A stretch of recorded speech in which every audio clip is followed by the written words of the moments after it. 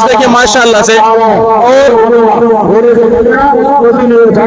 बाकायदा गोली की स्पीड से जो है घोड़े जा रहे हैं। आप देख रहे हैं कि ये जो रश लगी हुई है यकीन करें लैंड क्रूजर डबल केबिन कोई ऐसी गाड़ी नहीं है जो यहाँ मौजूद ना हो जिसमें शौकीन हजरात घोड़े की रेस देखने के लिए नहीं आए और इतने खूबसूरत घोड़े।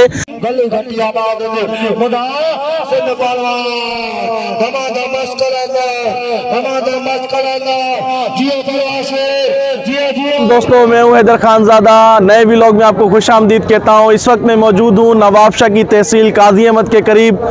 नवाबशाह ज़िले का सबसे बड़ा मेला जो लगता है, जमाल शाह दरगाह का, उसमें हम मौजूद हैं और मेरे पीछे आप देख रहे हो, घोड़ों की जो है वो रेस हो रही है और इस घोड़ों की रेस की खातिर जो है, मैं ख़ास तौर पर यहाँ दोस्तों के साथ आया हूँ।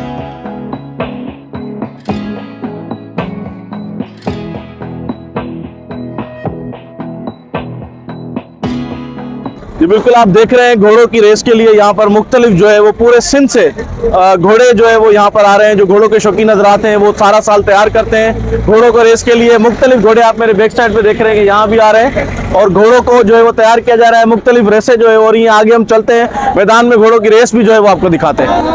वालेकुम। ये जो मेला लगाया गया है घोड़ों की रेस हो रही है हवाले से आप क्या कहो जिसी पीढ़ी में ये रस्म आ गया ना तो आखिरी पीढ़ी तक ये शौक अच्छा रेस जो होती है तो इसमें इनाम वगैरह भी होते हैं? इनाम नॉर्मल तरीके से होता है जो देते हैं। क्या इनाम होता है? क्या होता है ये दो सौ पाँच सौ हज़ार रुपया खुशी से देते हैं। अच्छा इतने इनाम पे फिर ये लाखों रुपए खर्च करते हैं घोड़े की तैयारी के सिर्फ़ लिए। इनको अपना शौक है जाती शौक है। शौक की वजह शौक है यानी मुख्तलिफ़ जो, सिंध भर के जो लोग हैं जमींदार हैं बड़े उनके अपने अपने घोड़े में बड़े जमींदारों के पास में गरीब अभी अभी मैं को बुला दूँ छोटा सा ना तो मेरे पास भी माशाल्लाह तीन घोड़े खड़े हुए हैं। अच्छा वो रेस हाँ, उतारे। वो अली पे ले आएँगे अली शाह पे ले आएँगे इंशाल्लाह नमाज़ इनकी गुफ्तगू जानी कि शौक है ये सारा इनका कहना है कि कोई इतना बड़ा इनसे इनकम नहीं होती, लेकिन शौक पे जो है ये अपने घोड़े पालते हैं और रेस कराते हैं। अब हम रेस के मैदान की तरफ़ चलते हैं।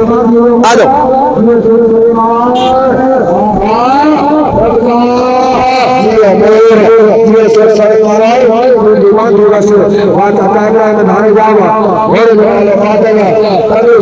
घोड़े आ रहे हैं, देखिए इनकी रेस देखिए, माशाल्लाह से। और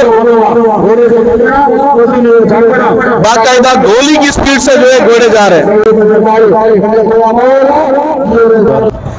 माशाल्लाह आप थोड़ा चल भी रहा हूँ। ये हमने भाई को रिक्वेस्ट की और इन्होंने जो है वो बिठाया है हमें। और ये सिर्फ़ चलने के लिए। रेस वेस नहीं करेंगे हम इसकी क्योंकि अगर ये भागा तो हमें गिरा देगा। आप कहाँ से आए?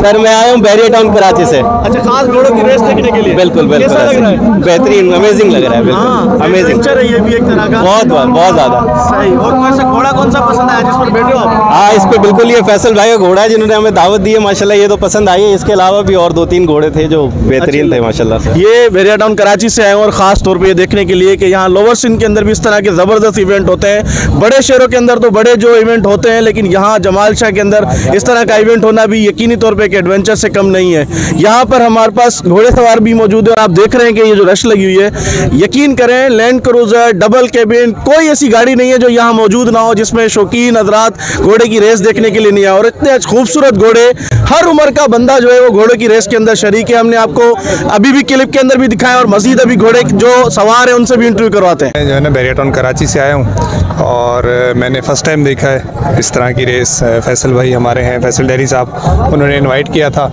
तो उनके इन्वाइट करने पर हम आए, मैंने पहली दफ़ा देखा, बहुत मज़ा आया। बहुत ही ज़बरदस्त घोड़ों की स्पीड बहुत ही अच्छे चलते हैं बहुत ही जो है ना ज़बरदस्त घोड़े थे और बहुत मज़ा आया इसको देख के।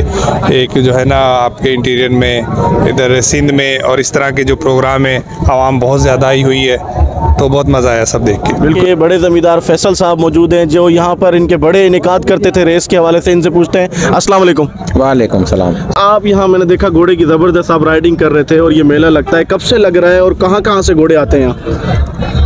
सर लग तो मिला कोई सौ साल ऊपर से रहा है पर पिछले पैंतालीस सालों से पहले मेरे वालिद साहब मेज़बानी करते रहे हैं यहाँ घोड़ों की औताक वगैरह की मतलब कि उनको रिहाइश और खाना वगैरह हम प्रोवाइड करते हैं। पहले दो दिन लगता था घोड़ा अब तकरीबन डेढ़ दिन होता है।